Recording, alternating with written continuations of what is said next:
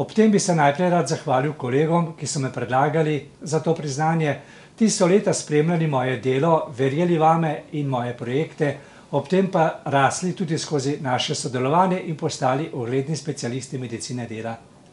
Posebna zahvala gre moji družini, najprej staršema, ki sta mi pokazala in privzgojila pomen občutka za sočloveka, nato moji družini, otrokoma, vnukom in še posebno ženi, ki mi je vedno stala ob strani, da sem lahko izživel svoje strokovne, raziskovalne in pedagoške ambicije, posebno še v zadnjem letu ob moji bolezni.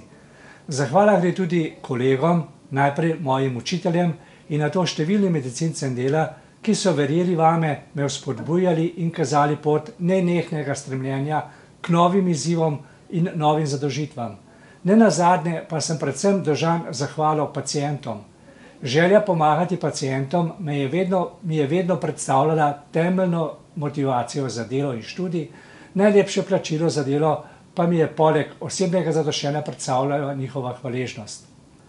Globoko sem verjel v naše poslanstvo in številni rodovi zdravnikov, s katerimi sem se srečeval pri svojem delu kot zdravnik in pedagog, poznajo moje prepričanje, da je človek bitje, ki mora delati, da nas delo bogati, osrečuje in osvobaja, pa tudi, da mora biti cilj vsakršnega zdravljenja aktivne populacije ponovno vzpostavitev delovne aktivnosti, seveda v obsegu, ki ga posameznik še zmore.